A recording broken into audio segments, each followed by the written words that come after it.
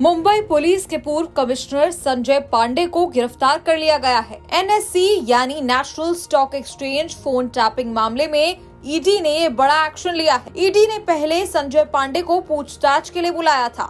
CBI ने भी सवाल जवाब किए थे। इस पूछताछ के बाद संजय पांडे को गिरफ़्तार कर लिया गया। इस रिपोर्ट में हम आपको बताने जा रहे हैं, आखिर ये पूरा मामला क्या था? दरअसल शेयर मार्केट में बड़ा नाम नेशनल स्टॉक एक्सचेंज यानी एनएसई कर्मचारियों के फ़ोन टैपिंग मामले को लेकर संजय पांडे की गिरफ्तारी हुई है। इससे पहले इस मामले में चित्रा रामकृष्ण को गिरफ़्तार किया गया था। इसके बाद अब इस मामले में पूर्व पुलिस कमिश्नर पर शिकंजा कसा है। साल 2013 से साल 2016 तक Chitra Ramakrishna national stock exchange में मैनेजिंग डायरेक्टर थी।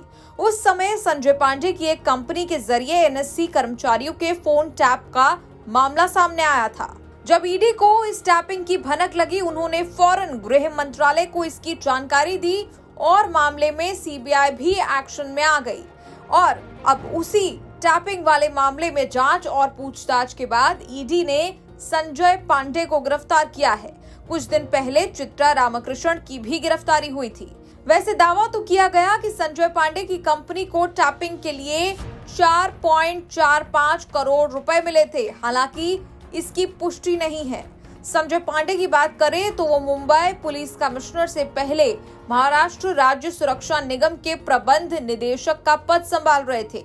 अप्रैल 2021 में उद्धव ठाकरे सरकार ने उन्हें महाराष्ट्र के डीजीपी का प्रभार दिया था।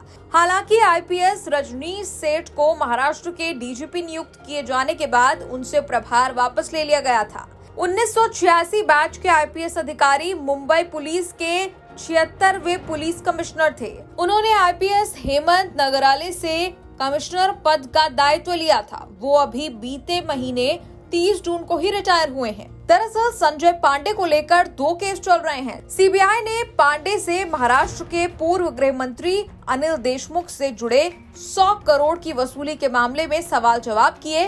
तो वहीं ईडी ने एनएससी कंपनी लोकेशन घोटाले से जुड़े केस में पूछताछ की है। सोमवार को पहले सीबीआई ने पांडे से पूछताछ की। सवाल जवाब पूरे होते ही ईडी वाले उन्हें अपने साथ ईडी दफ्तर ले गए। देर शाम तक उनसे पूछताछ चली। इस मामले को लेकर सीबीआई ने सोमवार को मुंबई के पूर्व पुलिस कमिश्नर परमवीर सिंह से भी पूछताछ की थी। महाराष्ट्र के पूर्व गृह मंत्री अनिल देशमुख पर परमवीर सिंह ने आरोप लगाया था कि देशमुख ने गृह मंत्री रहते 100 करोड़ रुपए की वसूली की थी। अनिल देशमुख को जबरन वसूली और मनी लॉन्ड्रिंग के आरोप में पिछले साल नवंबर में गिरफ़्तार किया गया था। तब ये भी आरोप लगा था कि सचिन वाजे के ज़रिए देशमुख ने मुंबई के कई बार से करीब चार लाख सत्तर हज़ार करोड़ रुपए इकट्ठा किए थे। ऐसे में उन पर अपने पद का दुरुपयोग करने का भी आरोप लगा था। न्यूज़ तक ब्यूरो।